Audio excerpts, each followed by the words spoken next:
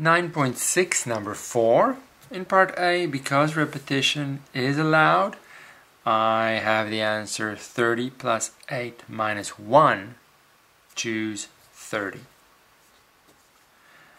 in B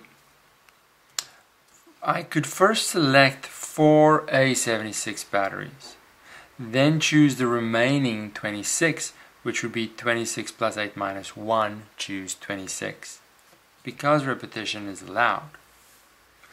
In C, my strategy is going to be very similar to the previous worked examples, where I take the no restriction and subtract the situation where at least four A76 batteries are selected, which was exactly what we did in B.